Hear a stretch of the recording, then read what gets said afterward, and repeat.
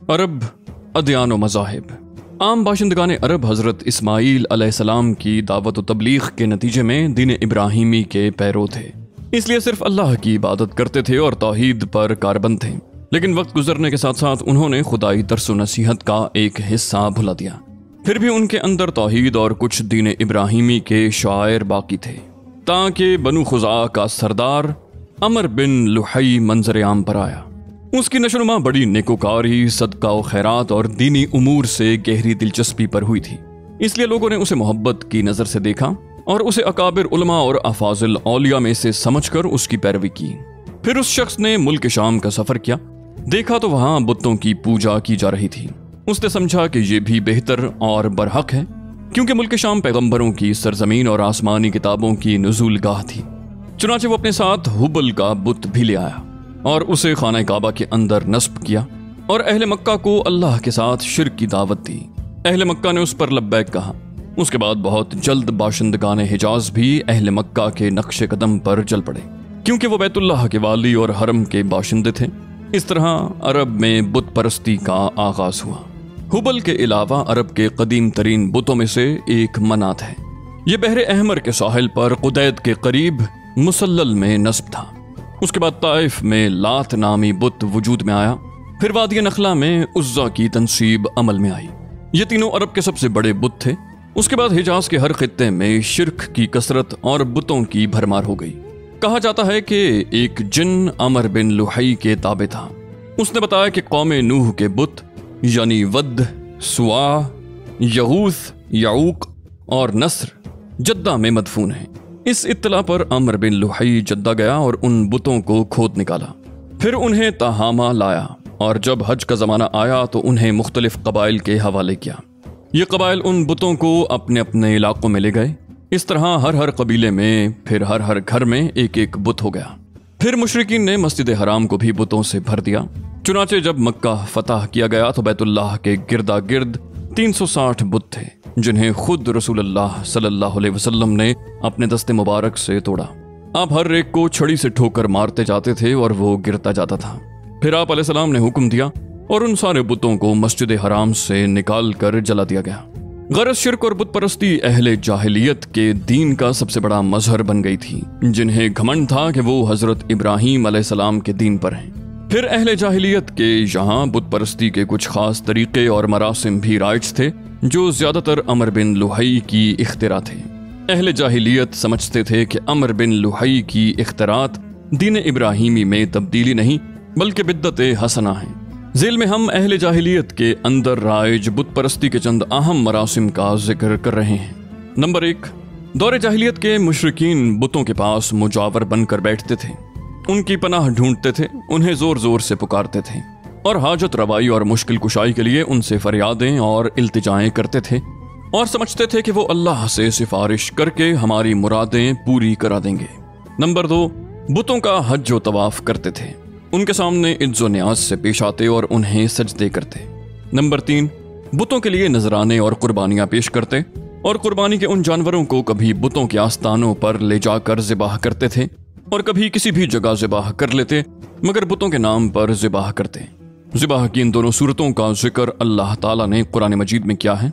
इरशाद है, वो जानवर भी हराम हैं जो आस्थानों पर जिबाह किए गए हों। दूसरी जगह इरशाद है, उस जानवर का गोश्त मत खाओ जिस पर अल्लाह का नाम न लिया गया हो।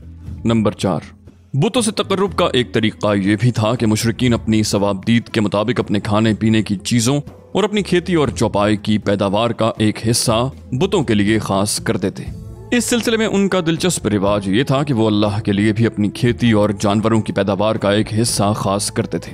फिर मुख्तलिफ़ इसबाब की बिना पर अल्लाह का हिस्सा तो बुतों की तरफ़ मुंतकिल कर सकते थे, लेकिन बुतों का हिस्सा किसी भी हाल में अल्लाह की तरफ़ मुंतकिल नहीं कर सकते थे। अल्लाह ताला का इरशाद है, अल्लाह ने जो खेती और चौपाए पैदा किए हैं, उसका एक हिस्सा उन्होंने अल्लाह के लिए मुकर किया और कहा, ये अल्लाह के लिए है। उनके ख्याल में।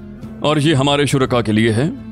तो जो उनके शुरा के लिए होता है, वो तो अल्लाह तक नहीं पहुँचता। मगर जो अल्लाह के लिए होता है, वो उनके शुरा तक पहुँच जाता है। कितना बुरा है वो फैसला जो ये लोग करते हैं। नंबर पाँच।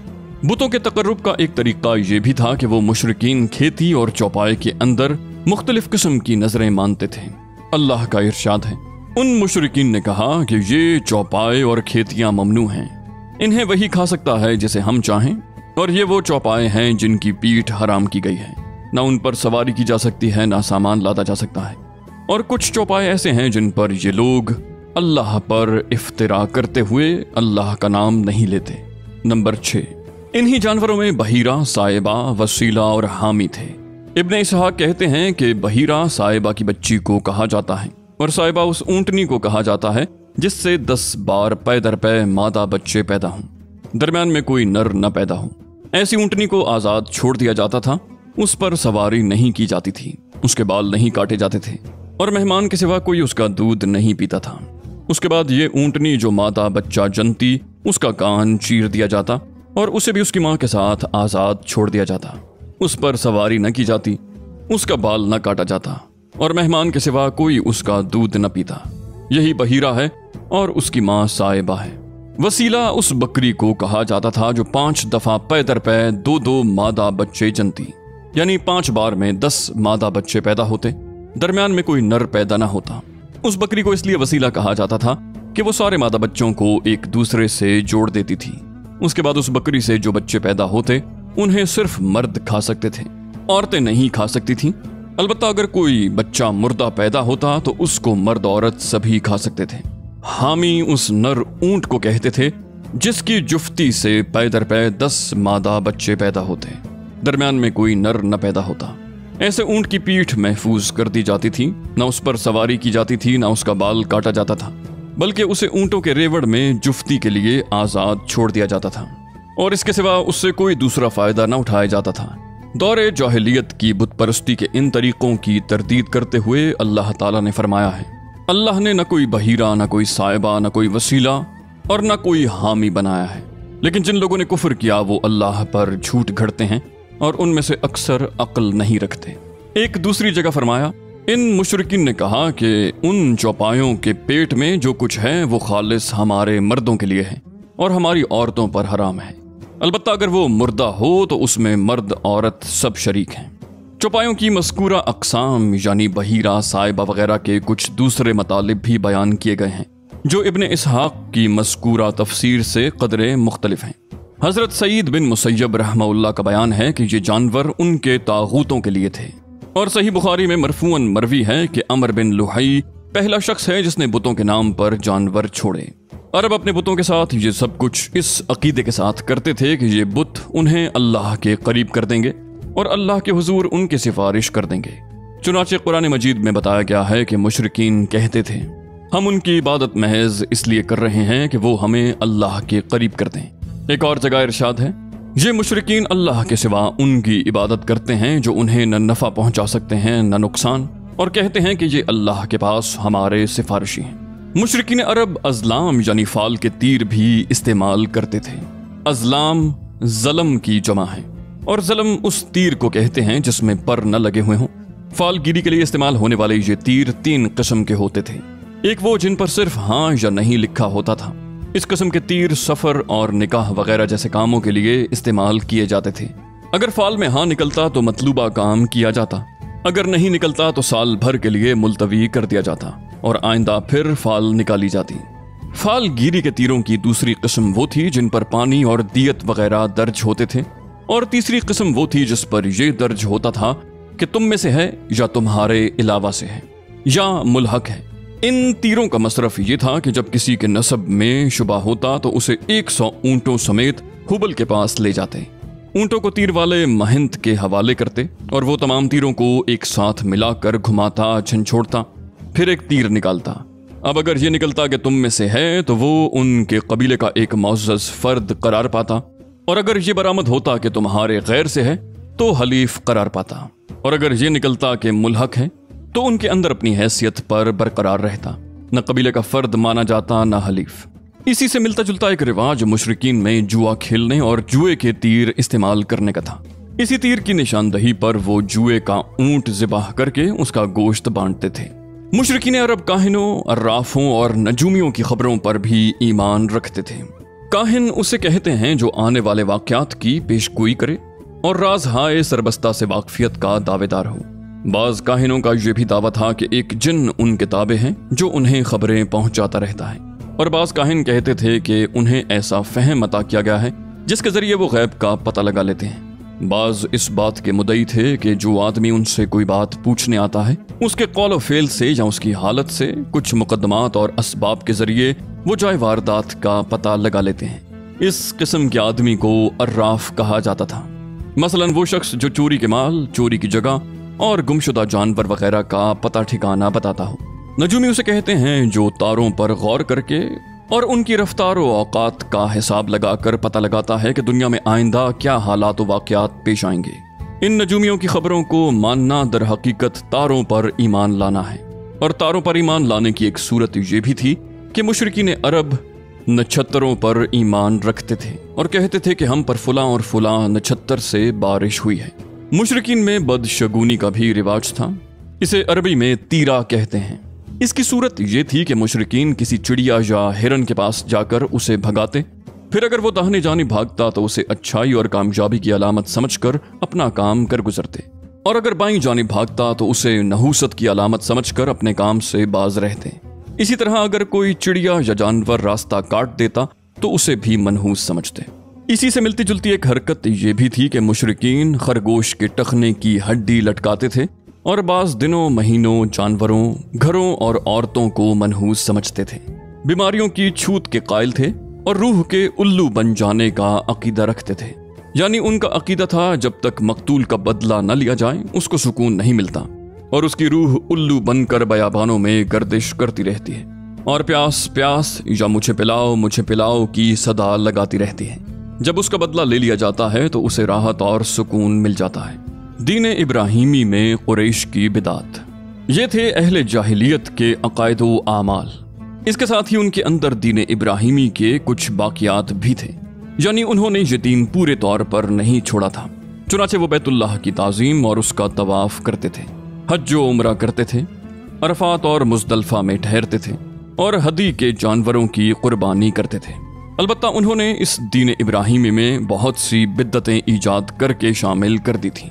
मसलन, कुरेश की एक बिद्दत ये थी कि वो कहते थे कि हम हज़रत इब्राहिम सलाम की औलाद हैं, हरम के पासबान, बैतुल्लाह के वाली और मक्का के बाशिंदे हैं। कोई शख्स हमारा हम मर्तबा नहीं और ना किसी के हुकूक हमारे हुकूक के मसावी हैं। और इसी बिना पर ये अपना नाम हुम्स रखते थे, यानी बहादुर और गर्मजोश लिहाजा हमारे शायान शान नहीं है कि हम हदूद हरम से बाहर जाएँ, चुनाचे हज के दौरान ये लोग अरफात नहीं जाते थे और ना वहाँ से इफादा करते थे। बल्कि मुजदलफा ही में ठहर कर वहीं से इफादा कर लेते। अल्लाह ताला ने इस बिद्दत की इसलाह करते हुए फरमाया, तुम लोग भी वहीं से इफादा करो जहाँ से सारे लोग इफादा करते हैं। फिर उनकी एक बिद्दत ये भी थी कि वो कहते थे कि हुम्स, यानी कुरेश के लिए एहराम की हालत में पनीर और घी बनाना दुरुस्त नहीं। और ना ये दुरुस्त है कि बाल वाले घर, यानी कंबल के खेमे में दाखिल हों। और ना ये दुरुस्त है कि साया हासिल करना हो तो चमड़े के खेमे के सिवा कहीं और साया हासिल करें। फिर उनकी एक बिद्दत ये भी थी कि वो कहते थे कि बैरून हरम के बाशिंदे हज या उम्र करने के लिए आए, और बैरून हरम से खाने की कोई चीज़ लेकर आए तो उसे उनके लिए खाना दुरुस्त नहीं। एक बिद्दत ये भी थी कि उन्होंने बैरून हरम के बाशिंदों को हुक्म दे रखा था कि वो हरम में आने के बाद पहला तवाफ हम्स से हासिल किए हुए कपड़ों ही में करें। चुनाचे अगर उनका कपड़ा दस्तियाब न हो तो मर्द नंगे तवाफ करते। और औरतें अपने सारे कपड़े उतार कर सिर्फ़ एक छोटा सा खुला हुआ कुर्ता पहन लेती। कुरेश की एक बिद्दत यह भी थी कि वो हालत एहराम में घर के अंदर दरवाजे से दाखिल न होते थे, बल्कि घर के पिछवाड़े एक बड़ा सा सुराख बना लेते और उसी से आते जाते और अपने इस उजड़ पन्ने को नेकी समझते थे।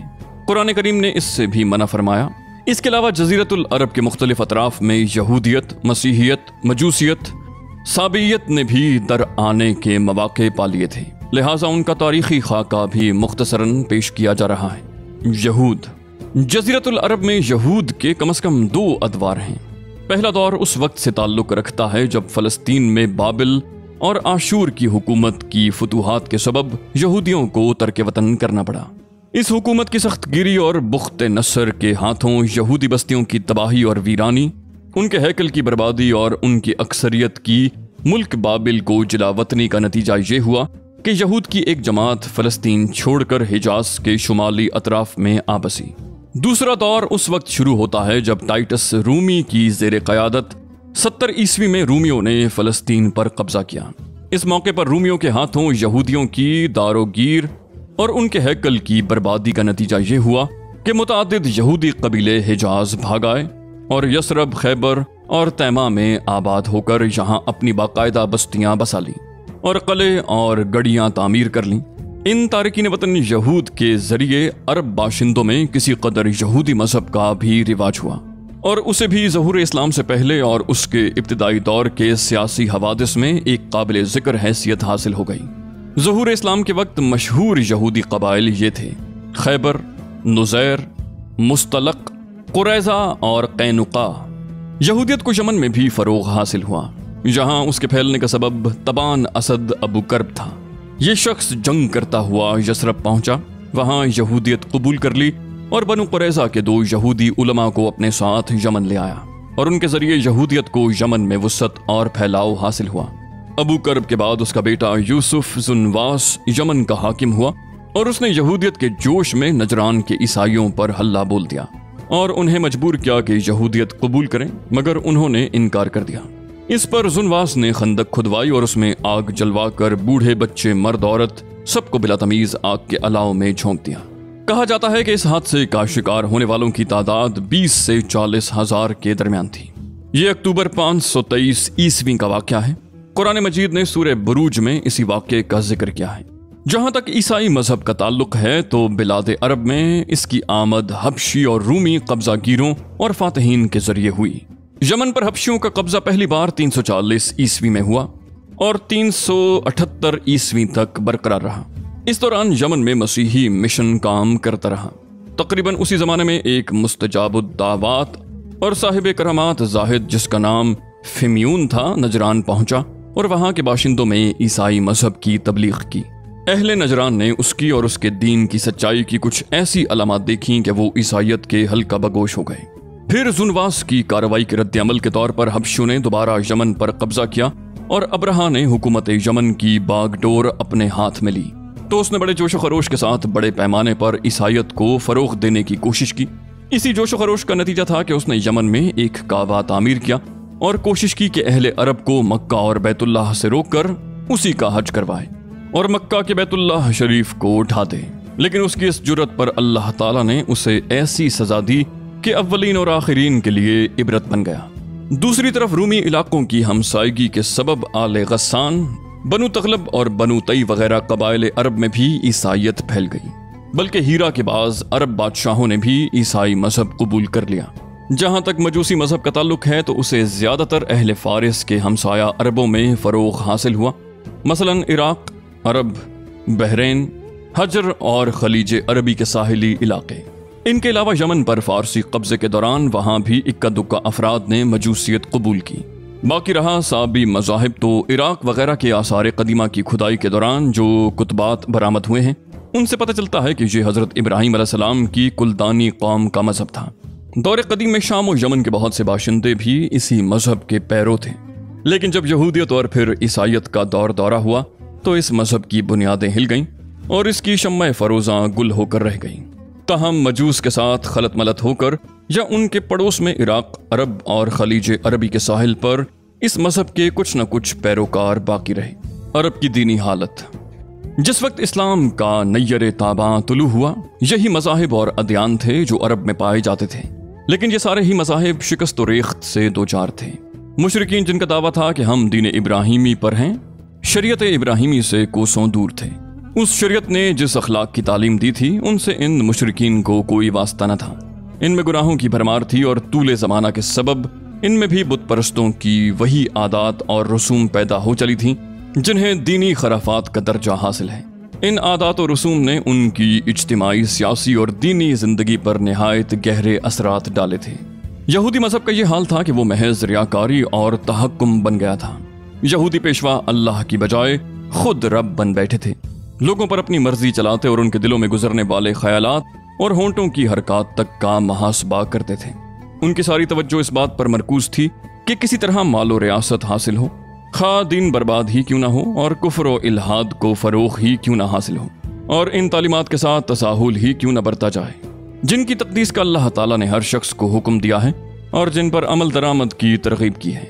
ईसाइत एक नाकबिल फहम बुत परस्ती बन गई थी। उसने अल्लाह और इंसान को अजीब तरह से खलत मलत कर दिया था। फिर जिन अरबों ने इस दीन को इख्तियार किया था, उन पर इस दीन का कोई हकीकी असर न था, क्योंकि उसकी तालीमत उनके मालूफ तर्ज ज़िंदगी से मेल नहीं खाती थी और वो अपना तर्ज ज़िंदगी छोड़ नहीं सकते थे। बाकी अदयान अरब के मानने वालों का हाल मुशरकिन ही जैसा था, क्योंकि उनके दिल यकसा थे, अकायद एक से थे और रस्म रिवाज में हम आहंगी थी।